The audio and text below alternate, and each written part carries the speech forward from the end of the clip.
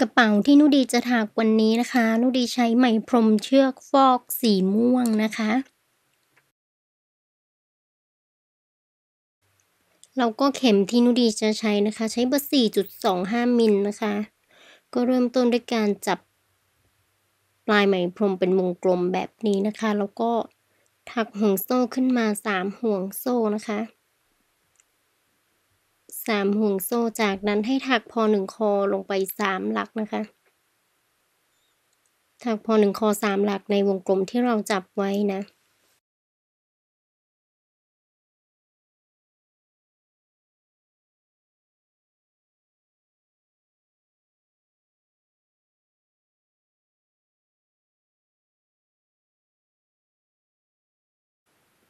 นี่นะคะสามหลักแล้วก็ถักสองห่วงโซ่นะคะ สองห่วงโซ่แล้วถักพอหนึ่งคอลงไปสี่หลักอีกนะคะ ในวงกลมที่เราจับไว้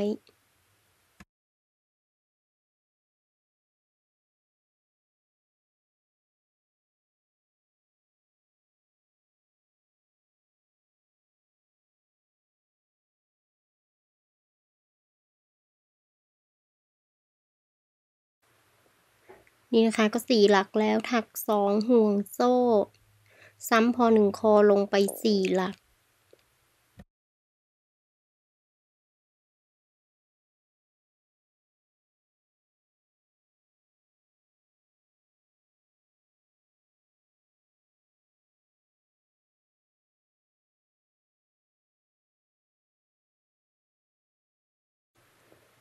สี่หลักนะคะ แล้วก็ถักสองห่วงโซ่อีก แล้วซ้ำสี่ หลักพอหนึ่งคอ ด้านสุดท้ายนะคะ เราจะมีทั้งหมดสี่ด้านนะคะ ด้านสุดท้ายสี่หลักเหมือนเดิมนะคะ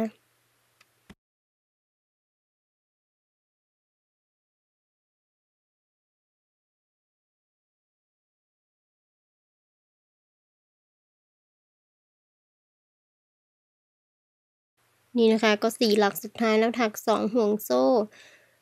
ดึงปลายไหมนะคะ ให้แน่นขึ้นนะคะ เราก็เชื่อมต่อที่สามห่วงโซ่แรกนะคะ ที่เราเริ่มต้นแถวนะคะ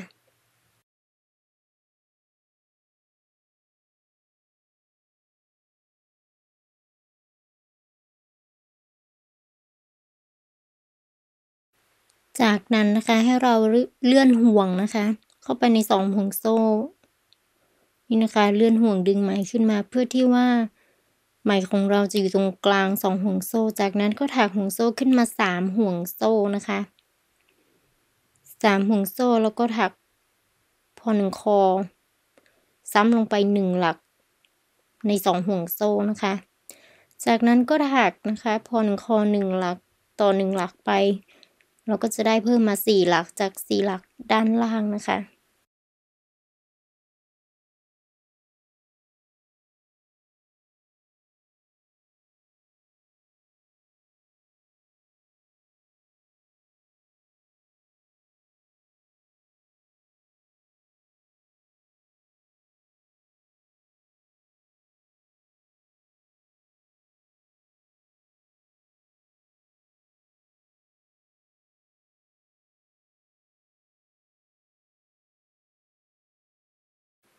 นี่นะคะก็ได้สี่หลัก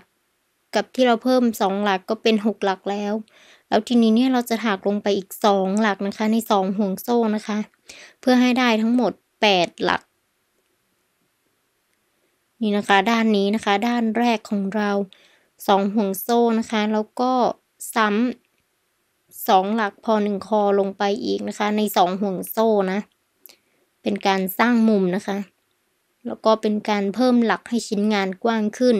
จากนั้นก็ถักหนึ่งหลักต่อหนึ่งหลักไปนะคะ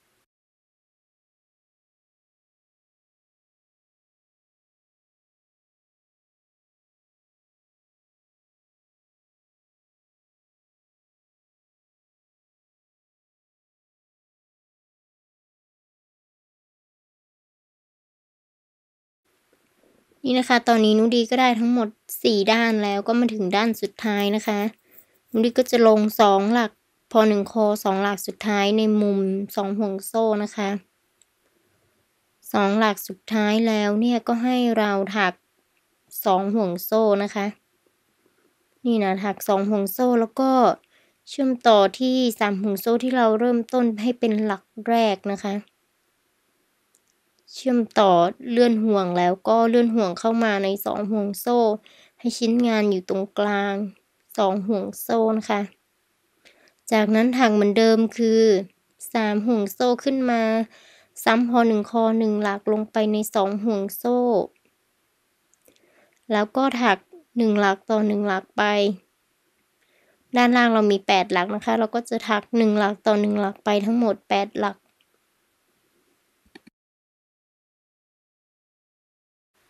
นี่นะคะก็พอจะเข้าใจวิธีการหลักการถักแล้วนะคะ ก็คือในมุมเนี่ยเราจะเพิ่มมา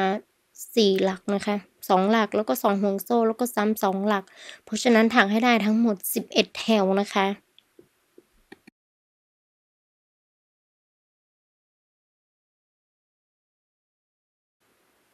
นี่นะคะนุดีก็จบในแถวที่ 11 นะคะ ก็วางให้ดูว่าชิ้นงานเนี่ยออกมาหน้าตาจะประมาณนี้นะคะ ก็ตอนนี้เนี่ยนุดีจะถักให้เสร็จในแถวที่ 11 สองหลักสุดท้ายของนุดีแล้วนะคะนุดีก็จะถักสองห่วงโซ่นะ ตรงมุมของนุดีตรงนี้นะคะสองห่วงโซ่แล้วก็เราจะเชื่อมต่อปกติเหมือนเดิม นี่นะคะ เชื่อมต่อ เชื่อมต่อแล้วนุดีจะถักนะคะห่วงโซ่ขึ้นมาสามห่วงโซ่เลยนะคะ ราะว่านี่เป็นแถวสุดท้ายของนุดีแล้วสามห่วงโซ่ แล้วก็ซ้ำหนึ่งหลักพอหนึ่งคอลงไปนะคะ ในสองห่วงโซ่ตรงนี้นะ จากนั้นเนี่ยนุดีจะถักนะคะหนึ่งหลักต่อหนึ่งห่วงเนี่ยนุดีจะถักไปทั้งหมดยี่สิบหลักนะคะยี่สิบหลักแล้วก็สองหลักที่นูดีทักเพิ่มตรงมุมก็จะเป็นว่าเรามีทั้งหมดยี่สิบสองหลักนะคะ ดังนั้นให้เราถักไปยี่สิบหลักนะคะนี่นะคะนุดีจะอธิบายวิธีการคร่าวๆก็คือ หลักของนุดีเนี่ยจะมีทั้งหมด 44 หลักนุดีก็จะแบ่งเป็นข้างละ 22 ก็จะแบ่งด้วยเข็มกลัดสีเขียวนี่นะคะ ก็จะมีข้างละ 22 แล้วก็นุดีจะเว้นตรงกลาง4หลักที่ไม่ถักนะ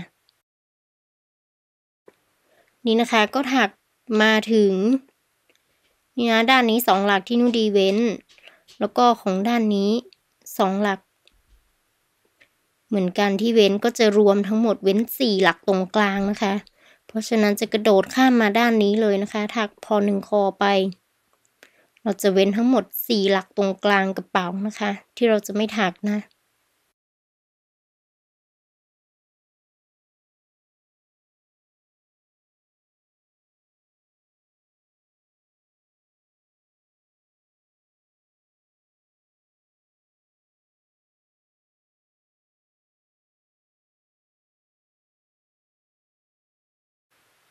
นี่นะคะ ทรงกระเป๋าก็จะเริ่มขึ้นมาแบบนี้นะ ถักมาถึงมุมนะคะ เราก็ถักเหมือนเดิมปกติคือพอหนึ่งคอสองหลักในสองห่วงโซ่ แล้วก็ถักสองห่วงโซ่ และซ้ำสองหลักพอหนึ่งคอเหมือนเดิมนะคะ นี่นะคะสองหลัก จากนั้นถักพอหนึ่งคอหนึ่งหลักต่อหนึ่งหลักไป จนถึงตรงกลางนะคะ นี่นะ เราจะหมายไว้ก่อนแบบนี้ นับมาข้างละยี่สิบสองหลักนะคะ แบ่งได้ข้างละยี่สิบสองหลักแล้ว เราก็จะเว้นสี่หลักตรงกลางไม่ถักนะคะ เพราะฉะนั้นทางให้รอบกระเป๋าเลยนะ นี่นะคะก็มาในแถวที่สองนะคะ มาถึงแถวที่สองก็จะเว้นสี่หลักเหมือนกันนะคะ นี่นะ เว้นสี่หลักหนึ่งสองสามสี่ตรงนี้ก็จะกระโดดมาทักที่หลักนี้เลยนะคะ เมื่อเราถักเสร็จแล้วเนี่ยก็จะออกมาหน้าตาแบบนี้นะคะ ก็คือจะไม่มีห่วงโซ่ใด ๆ ก็แค่กระโดดข้ามหลักมาสี่หลักนะนี่นะคะก็ให้เราถักทั้งหมดสิบสองแถวนะคะ ตอนนี้นูดีก็ได้ทั้งหมดสิบสองแถวแล้วนี่นะ แล้วก็ตอนนี้เนี่ยนุดีจะให้ดู ในแถวที่สิบสองเนี่ยนุดีจะสำหรับตรงมุมแบบนี้เนี่ย จะมีการรวบสองหลักสุดท้ายของนุดีนะคะ ก็คือสองหลักตรงนี้เนี่นะคะถักพอหนึ่งคอครึ่งหนึ่งก่อน แล้วก็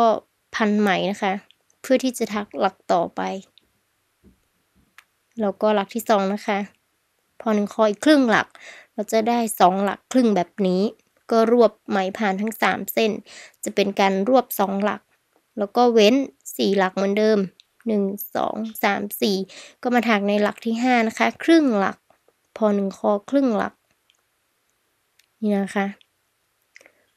แล้วก็มาที่หลักถัดมานะคะ เพื่อที่จะรวบทั้งสองหลักนี้เข้าด้วยกันสำหรับในแถวที่สิบสองนะคะ เฉพาะแถวสิบสองนะ นี่นะได้สองหลักแล้วเราก็จะรวบสองหลักนี้ให้เป็นหลักเดียวกันนะคะ เพื่อที่ปากกระเป๋าของเราจะกระชับขึ้นมานิดนึงแบบนี้นะคะ ในแถวที่สิบสองจากนั้นก็ถักปกตินะคะ เราจะถักแค่ในส่วนของมุมที่เราสร้างขึ้นมาตรงนี้เท่านั้นนะคะ ทั้งหมดสี่มุมของเรานะเราจะถักให้เหมือนกันแบบนี้นะคะ นี่นะคะก็ถักมาจนจบแถวที่สิบสองนะ เชื่อมต่อที่สามห่วงโซ่แรกด้วยเลื่อนห่วง จากนั้นแถวที่สิบสามขึ้นหนึ่งห่วงโซ่ แล้วก็ซ้ำนะคะ คอทอในห่วงโซ่ที่เราเชื่อมต่อนะคะ ถักคอทอนะคะหนึ่งหลักต่อหนึ่งห่วงไปนะ นี่นะคะ หลักที่สองก็คอทอ หลักที่สามก็คอทอนะคะ ถักคอทอหนึ่งหลักต่อหนึ่งห่วงไป ให้รอบแถวที่สิบสามของเรานะคะ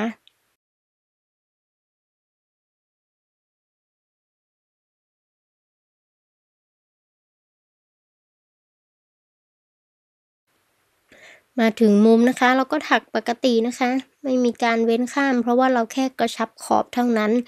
เราก็จะถักหนึ่งหลักต่อหนึ่งหลักไปแบบนี้นะคะ คอทอ เพื่อให้ปากกระเป๋าของเรากระชับมากขึ้นนะ